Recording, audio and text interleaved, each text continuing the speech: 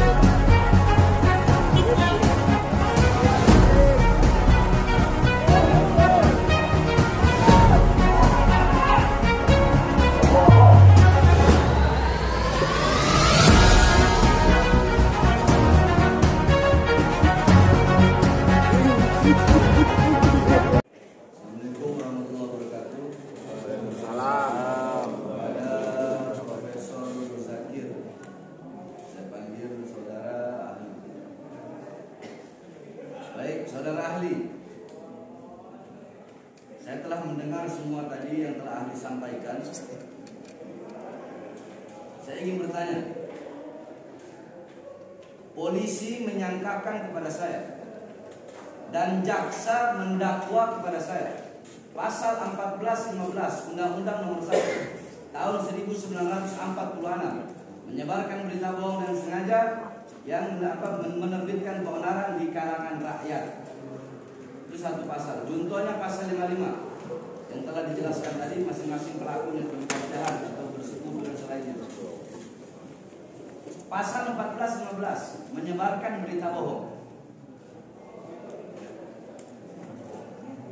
ini yang didak yang disangkakan oleh polisi dan didakwa oleh jaksa adalah saya menyebarkan berita bohong di dalam ceramah saya.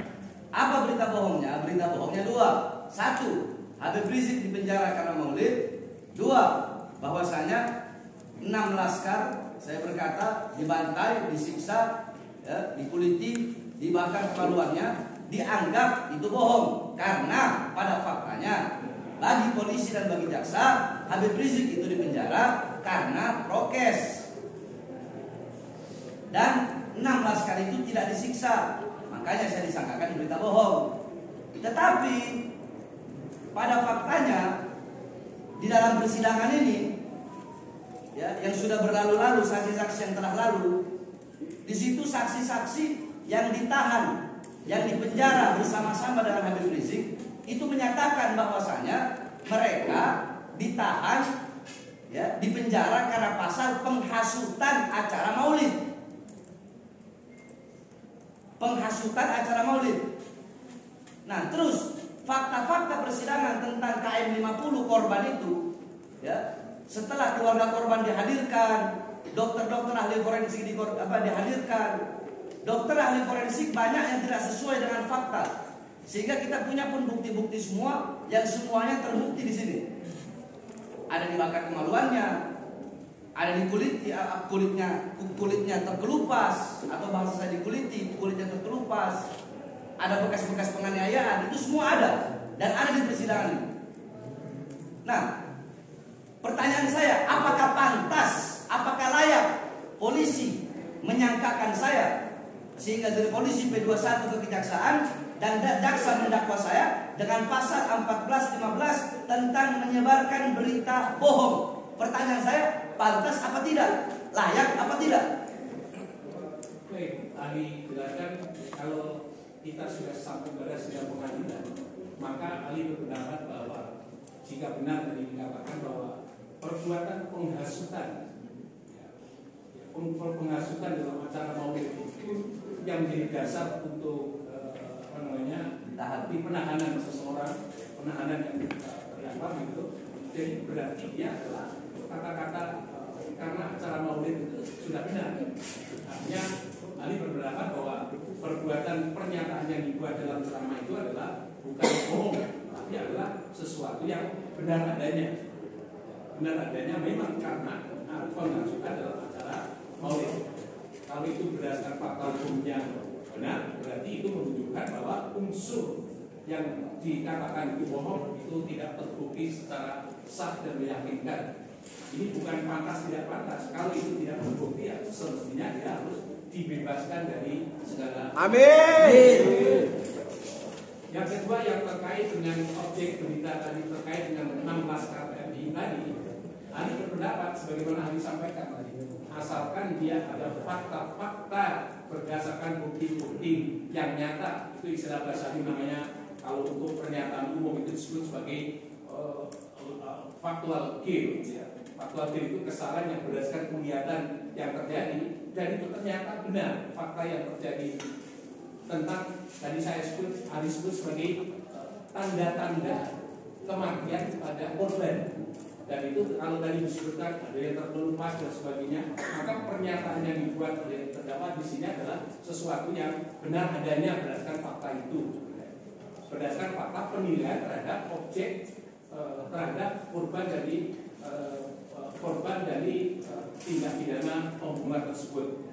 Atas dasar fakta tersebut dan kemudian menyampaikan dalam satu ceramah, maka ahli berpendapat bahwa ceramahnya itu adalah berdasarkan fakta. Kalau ceramah berdasarkan fakta yang ada, tidak bisa dinilai sebagai ceramah yang bohong. Dan oleh sebab itu juga, kalau itu benar terbukti bahwa ceramah itu berdasarkan fakta yang ada, maka pernyataan yang menyatakan bahwa telah menyebarkan berita bohong adalah juga tidak benar dan tidak terbukti secara sah meyakinkan dan oleh karenanya terdakwa tidak bisa dihukum karena pasal 1415 atau dengan kata lain terdakwa harus dibebaskan dari dakwaan karena memang apa yang dituliskan yang dituduhkan bohong itu memang faktanya benar adanya. Maka harus dibebaskan dari segala dakwaan. Demikian pendapat anda. Berarti harus dibebaskan dari dakwaan pasal 1415 ya? Benar demikian. Baik itu satu. Dua men, dengan sengaja menerbitkan keonaran di kalangan rakyat. Sedangkan mulai dari saya ceramah sampai detik ini tidak ada satupun keonaran atau bahkan nggak usah satu dua orang saling pukul karena ceramah saya itu nggak ada sampai detik ini nggak ada bahkan keonaran itu timbul setelah saya dilaporkan baru rame.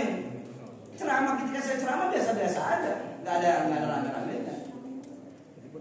Keonaran timbul, keonaran maksudnya keonaran di sini saling tidak orang saling ngomong, saling ini, saling ribut. Itu setelah saya dilaporkan. Dan tidak ada keonaran yang sebagaimana saksi ahli bilang kerusuhan fisik. Jangankan kerusuhan fisik rame-rame, dua orang saling pukul atau saling ngeludah aja itu tidak ada. Itu tidak ada. Bahkan saya yang mencegah agar tidak terjadi kerusuhan. Kenapa? Karena orang-orang se Indonesia saya punya murid tidak terima saya ditahan. Mereka mau bikin kerusuhan. Saya yang cegah. Jangan. Nah, pertanyaan saya, apakah apakah apa yang didakwakan oleh jaksa keonaran dengan apa sengaja menerbitkan keonaran itu masuk apa tidak, layak apa tidak, pantas apa tidak didakwakan kepada saya. Kalau tadi kan berita bohongnya, sekarang keonarannya. Baik, tadi jelaskan, tadi Adi sudah menerangkan tentang pengertian keonaran dan berdasarkan fakta yang Ali sampaikan tadi, per definisi tentang keonaran dan yang sekarang kalau ini benar dinyatakan bahwa setelah terjadinya ceramah disampaikan sampai hari ini sama sekali tidak terjadi keonaran disebabkan karena karena ceramah eh, terdakwa. Ali berpendapat bahwa berarti itu keonaran tidak pernah terjadi. Artinya apa? Unsur terjadinya keonaran sengaja menimbulkan keonaran tidak pernah terjadi maka menurut Ali adalah unsur itu sudah tidak terbukti secara sah dan meyakinkan. Demikian. Baik. Pertanyaan selanjutnya. Saya disangkakan pasal 28 Undang-Undang ITE setiap orang dengan sengaja dan tanpa hak menyebarkan informasi yang ditujukan untuk menimbulkan rasa kebencian atau permusuhan sara, suku, agama, ras dan antar golongan. Sedangkan di dalam ceramah saya tidak ada saya menghina, mencaci, memaki atau menyebarkan kebencian atau menyebarkan permusuhan dari dulu sampai sekarang kepada suku apa pun, agama mana pun, ras mana pun, dan antar golongan mana pun.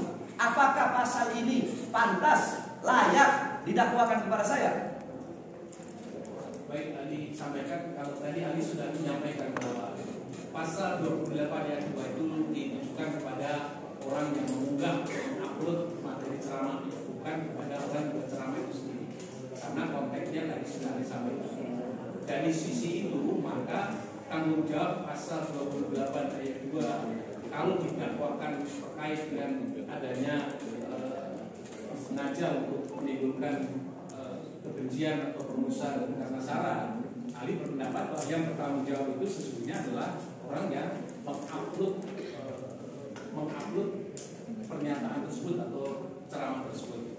Yang kedua, kalau itu terdapat ternyata tidak ada hubungannya dengan perbuatan mengupload itu dan itu adalah atas inisiatifnya sendiri, maka dari sisi hukum kejahatan yang pertama adalah tindakan mengupload. Yang berceramah tadi tidak bisa dimintai pertanggungjawaban terhadap eh, materi yang diupload tersebut karena penguploadan itu bukan karena kehendak persetujuan dari pihak yang berceramah. Yang kedua, kalau itu benar bahwa itu dakwaan itu ditujukan penyertaan atau journaling atau penyertaan dalam pasal 55 Ali juga berpendapat bahwa tadi katakan apakah memenuhi syarat subjektif atau objektif? Kalau dari berdasarkan pernyataan yang disampaikan menurut Ali adalah tidak memenuhi syarat subjektif maupun objektif.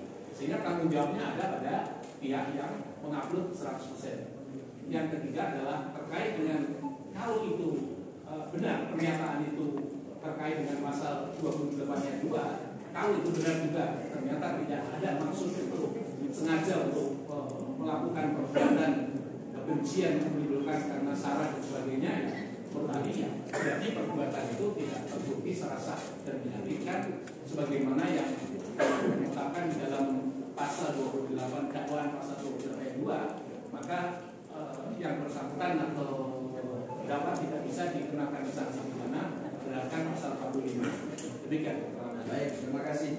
Ahli mengatakan pasal 55 yaitu penyertaan. Ya, ya, ini harus ada dua syarat.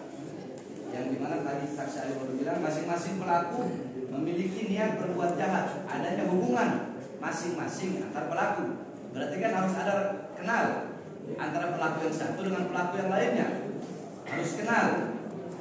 Nah, sedangkan saya tidak kenal dengan yang mengupload dan saya tidak pernah memerintahkan dan tidak juga melarang untuk siapa pun merekam ceramah saya. Tidak memerintahkan, tidak juga melarang. Dan saya tidak kenal, bukan hanya saudara datang, siapa pun mereka yang mengupload-upload itu, saya tidak kenal. Ya, saya tidak kenal. Dan menurut saksi ahli ITE kemarin, kalau memang akun e, ceramah saya yang disampaikan, ceramah saya yang saya sampaikan, yang diakun oleh saudara Tatang itu menyebabkan keonaran atau bisa menimbulkan permusuhan, harusnya diblokir oleh Kominfo. Tapi sampai detik ini Kominfo tidak sama sekali memblokir channel YouTube yang mengunggah video ceramah saya, yaitu Tatang. Yang di mana tadinya saya tidak kenal siapa dia, bahkan saya sempat marah. Kenapa kok ngupload ngupload ceramah saya? Nah, pertanyaan saya, bagaimana pendapat saksi? baik tadi jelaskan Eh, pendapat ahli. Ali jelaskan tadi prinsip eh, dalam pertanggungjawaban hukum pidana sebenarnya yang disampaikan tadi bahwa untuk pasal 28 ayat 2 itu ditujukan pada pengatur. Jadi kalau tadi benar bahwa kalau itu tidak kenal, tidak pernah meminta, tidak pernah menyuruh dan sebagainya, berarti dia inisiatif untuk mengupload itu ada pada pihak pengupload sendiri tanpa ada hubungannya dengan eh, terdakwa. Kalau begitu eh, kalau tidak ada hubungan dengan terdakwa, maka berdasarkan pasal 55 tentang penyertaan atau jendering, maka pelakunya tidak eh, terdakwa tidak bisa dituduhkan sebagai pelaku tindak pidana dalam pasal 28 ayat 2 tersebut. Itu yang pertama. Yang kedua, kalau itu benar kontennya ternyata juga tidak mengandung unsur uh, sebut saja itu tadi adalah uh, tindakan permusuhan atau kebencian karena sara, ya berarti itu yang bersangkutan yang mengalut juga tidak bisa dihukum karena? Karena materi beritanya tidak termasuk di dalamnya adalah uh, salah tadi dengan kata salah sehingga dengan demikian kalau itu benar seperti itu berarti penguploadnya juga tidak bisa dihukum terdakwa juga tidak bisa diminta pertanggungjawaban untuk dihukum disebabkan karena uh, pasal 28 ayat 2 demikian Baik, tadi ahli, ahli mengatakan perbedaan pendapat adalah hak konstitusional sebagai warga negara sesuai dengan Undang-Undang Dasar 1945. Berarti kan pendapat ahli bahwasanya perbedaan pendapat itu apakah dalam hukum itu bisa dihukum hanya karena perbedaan, pendapat? Berarti tidak kan? Nah, pertanyaan saya, apakah perbedaan keyakinan itu bisa dihukum dalam pidana. Contoh, jaksa yakin kalau saya ini bohong. Tapi saya yakin kalau saya ini benar. Jaksa yakin kalau enam laskar itu tidak dianiaya. Saya yakin kalau enam laskar itu dianiaya. Apakah itu bisa masuk dalam delik hukum? Masalah keyakinan seperti itu. Baik, ini kita